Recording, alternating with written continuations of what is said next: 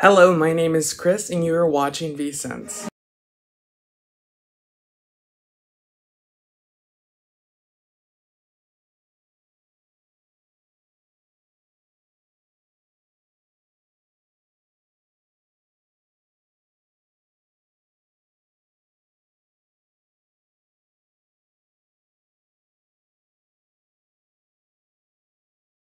We're going to be doing a gift guide for the holidays. I know we're all approaching the holidays. It is coming up, you know, people are going to want fragrances and what's the best way to figure out which fragrance to get from each fragrance house. So in today's video, we're going to be talking about Chanel, uh, and in specific, we're going to be talking to the Coco Mademoiselle line.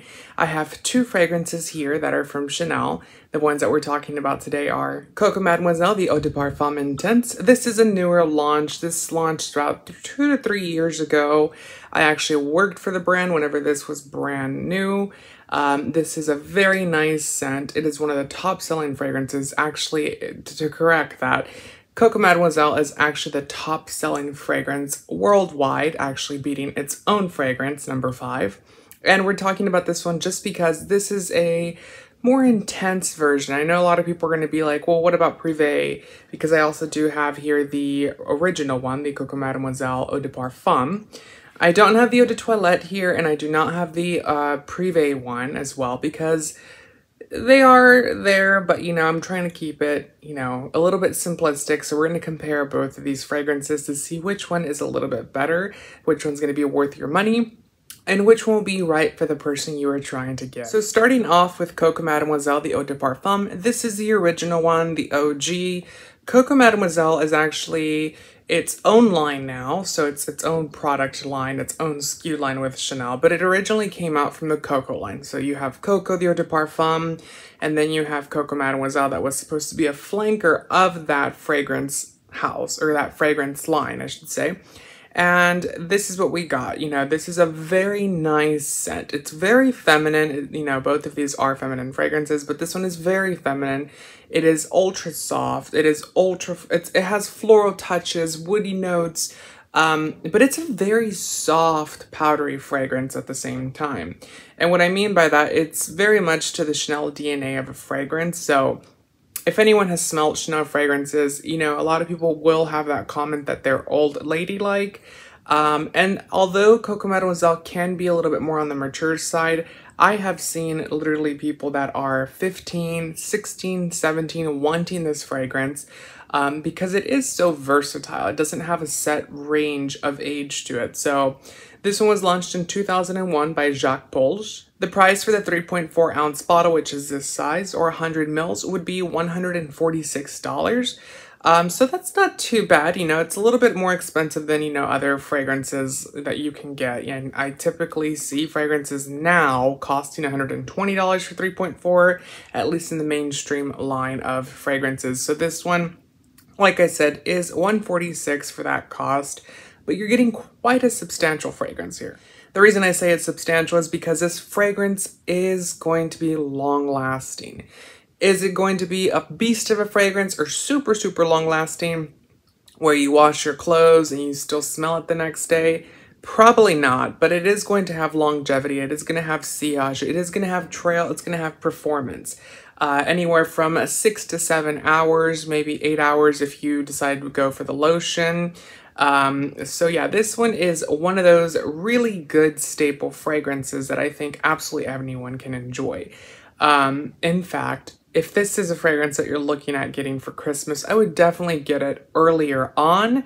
Uh, and I would avoid gift sets. The reason I say that's because Chanel has this thing, and they've done this since I worked for them. They've done it before me. They've done it after I worked for them they will package this beautiful bottle in a box and then they'll throw a lotion or a twist and spray per spray of Coco Mademoiselle and then they will add the box. So you're paying for the bottle, you're paying for whatever's in the bo in the box with the bottle itself.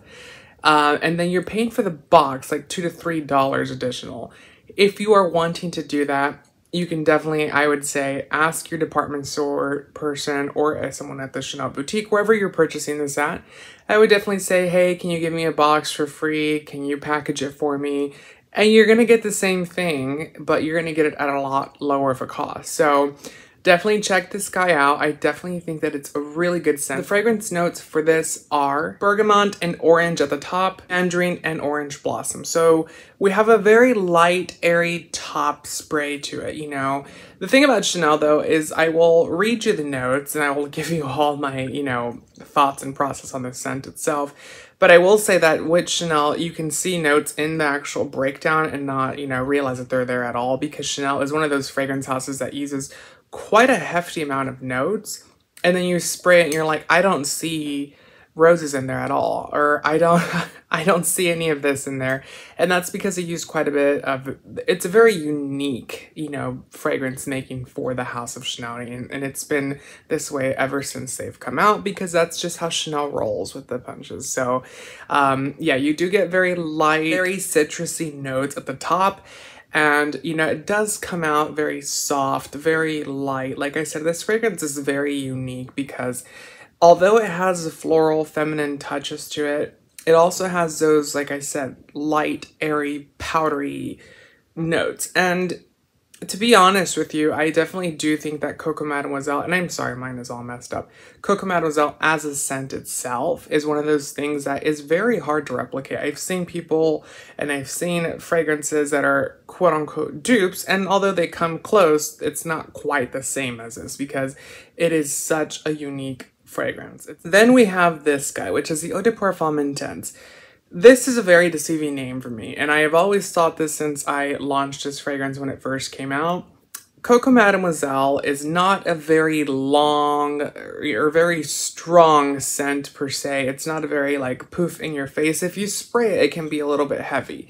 Coco Mademoiselle does have those like nice powdery woody notes at the base of it, and they both have very much a very similar composition. Again, they are flankers of one another which essentially means that they're going to smell very similar. The DNA is going to be there at the end of the day. And it is very much the case with these two. The difference is that this one is called Coco Mademoiselle Intense, Eau de Parfum Intense. You think, oh, they're going to add more spice, they're going to add more woodsiness, they're going to add more of a, you know, deep element into the fragrance.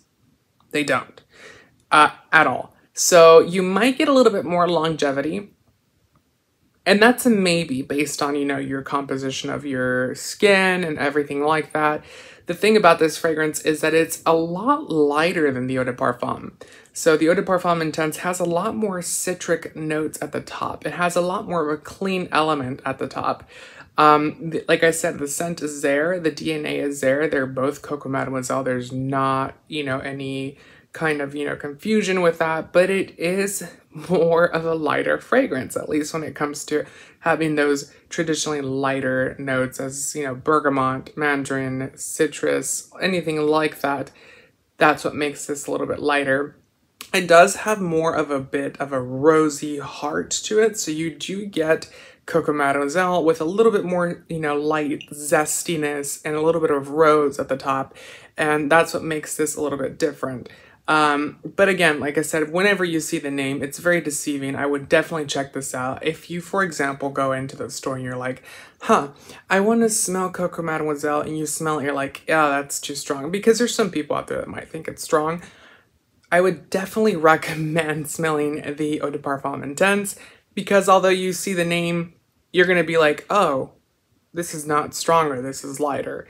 Uh, this is a lot more wearable. So Definitely check this guy out if you do not like the original one because you might like the lighter elements that this one has to offer. Um, this is $156 in the US for a 100 ml or 3.4 ounce bottle. So it is $10 more, but that is up to you based on, you know, your nose. And if you are looking for a fragrance that someone might like and you want something traditional, then I would definitely go for this guy. If you want something that's a little bit newer, this was launched in 2018.